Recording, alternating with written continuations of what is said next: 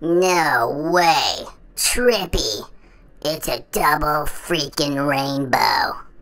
It almost looks like you could, like, climb it, but you can't because there's really nothing there to climb. But it still looks like you can climb it. Whoa.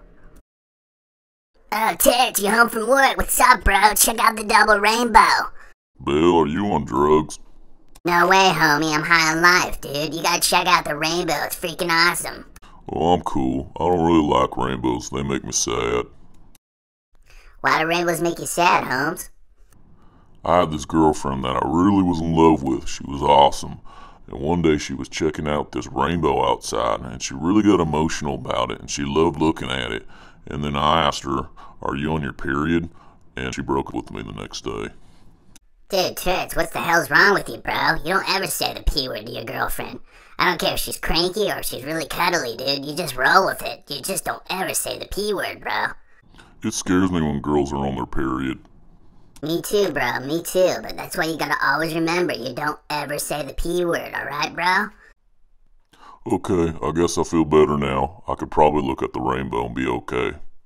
Alright, that's what I'm talking about, Holmes. Let's look at some rainbow, bro.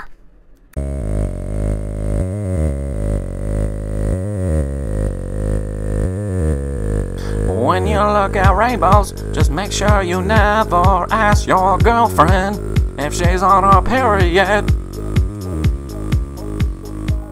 When you look at rainbows, make sure you don't ask your girlfriend if she's on her period again. Because you will be single again.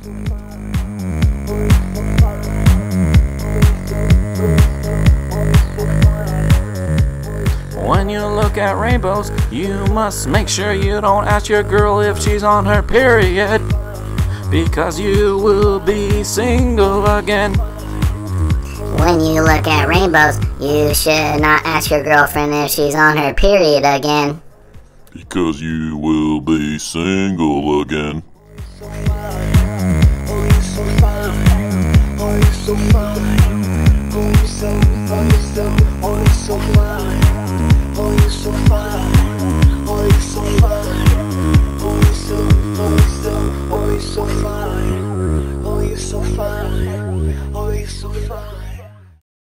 I love women, just not when they're on their periods.